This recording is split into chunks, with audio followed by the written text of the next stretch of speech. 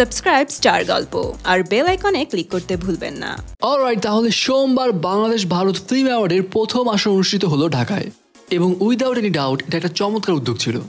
দুই দেশের চলচ্চিত্র জগতে তারকা শিল্পীদের অংশগ্রহণে এমন আয়োজন করা কিন্তু চারটেখানি কথা নয়। বিশালী আয়োজনে চলচ্চিত্র জগতের অনেক তারকারাই উপস্থিত ছিলেন। এখন বিরাট এই আয়োজনকে সাকসেসফুলি এক্সিকিউট করার জন্য অনেকেই আয়োজকদের ধন্যবাদ জানিয়েছেন। অনেকে এমন উদ্যোগের অনেক প্রশংসা করেছেন। কিন্তু এত বড় আয়োজনে তো ভুল ত্রুটি থাকতেই পারে। হ্যাঁ সেই অ্যাওয়ার্ড অনুষ্ঠানেও কিছু ভুল ত্রুটি মানুষের চোখে পড়েছে।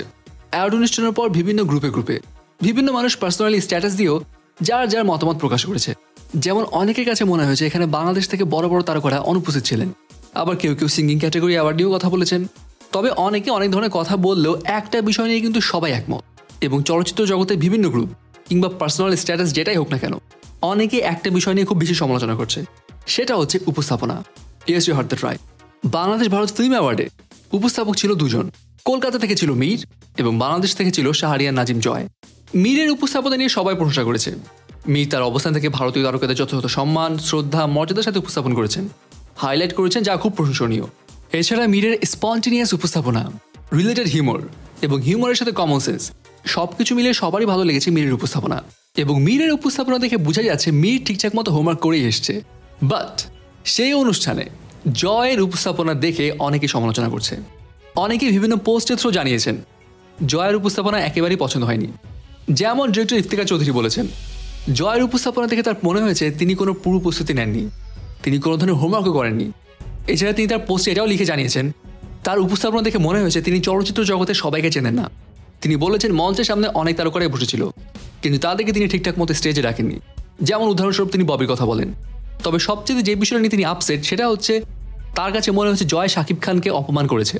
তিনি লিখে জানিয়েছেন, শাকিব খান কেবল বাংলাদেশেরই জনপ্রিয় তারকা নয়, কলকাতাতেও তার একটা ব্যাপক পরিচিতি আছে এবং কলকাতাতেও তিনি অনেক জনপ্রিয়। কিন্তু সে শাকিব খানের ইমেজটা জয় ঠিকঠাক মতো মূল্যায়ন করতে পারেনি। ইফতেখার যদি আরও লেখেন, সেই অনুষ্ঠানে শাকিব খান ব্যক্তিগত কারণে উপস্থিত থাকতে পারেননি এবং সেটা তিনি আয়োজকদের আগেই জানিয়েছিলেন। কিন্তু জয় এই কথা জেনেও আননেসেসারি অনেক ভাড়ামি করেছে। অনাকাঙ্ক্ষিতভাবে জয় দর্শকদের জানাতে থাকলেন যে, তিনি রাস্তায় আছেন, তার দেরি হচ্ছে এবং এই দেরি বা লেটকে কমেডির আকারে তিনি প্রেজেন্ট করতে যেয়ে তিনি শাকিব খানকে ইনসাল্ট করেছেন এবং এটা ইফতেকার চৌধুরী মনে হয়েছে এবং তিনি মনে করেন, জয়কে এই ধৃষ্টতা দেখানোর জন্য তার কৈফিয়ত দিতে হবে এবং ক্ষমা চাইতে হবে। শুধু ইফতেকার চৌধুরী না, অনেকেই বলেছেন জয় তার উপস্থাপনা নিয়ে তারকাদের ঠিকঠাক মতো মূল্যায়ন করতে পারেনি হাইলাইট করতে পারেনি। অনেকে এটাও বলেছেন, একজন অ্যাঙ্কর হলো একটা অনুষ্ঠানের প্রাণ বা face of the total arrangement সেই ক্যাপ্টেন যদি ঠিকঠাক মতো প্রস্তুত না থাকে, তাহলে পুরো অনুষ্ঠানটা ঠিকঠাক মতো কীভাবে চলবে? এবং অনেকে বলেছেন জয়ের হোমওয়ার্ক করে আসা উচিত ছিল নট অনলি দ্যাট কেউ কেউ এটাও লিখেছেন, জয় শুধু শাকিব খানকে নয়, বরং কলকাতার অনেক বড় বড় তারকাদের সঙ্গেও সে হিউমারাস কিছু করতে চেয়ে বরং তাদের অপমান করে ফেলেছেন, যেটা তার কমন সেন্স না থাকার একটা পরিচয় দেয়। যেমন সেখানে উপস্থাপক মীরকে তিনি হঠাৎ করে প্রশ্ন করেন, আপনি নাকি সাঁত্রিশ বছর বয়সে আত্মহত্যা করতে চেয়েছিলেন?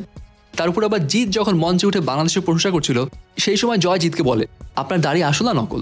ইভেন প্রশ্নী চ্যাটার্জিকে সে কোশ্চিন করে, আপনি কটা চুমু খেয়েছেন? এবং জয়ের এরকম প্রশ্ন, জয়ের এরকম অ্যাটিটিউড অনেকের কাছে মনে হয়েছে, জয়ের উপস্থাপনা করার কমন সেন্সটাই নাই। এবং এইভাবে অনেকে নানা ধরনের পোস্ট লিখে জয়ের অ্যাঙ্কারিংয়ের সমালোচনা করছেন। So viewers Bangladesh Bharat film awards এই অনুষ্ঠানে উপস্থাপকের সমালোচনা নিয়ে আপনি কি ভাবছেন? কমেন্টস করে জানিয়ে দিন আপনার মতামত। ইউটিউবে আর মিথ্যে গসিপ নয়। সত্য খবর পেতে সাবস্ক্রাইব করুন স্টার গল্প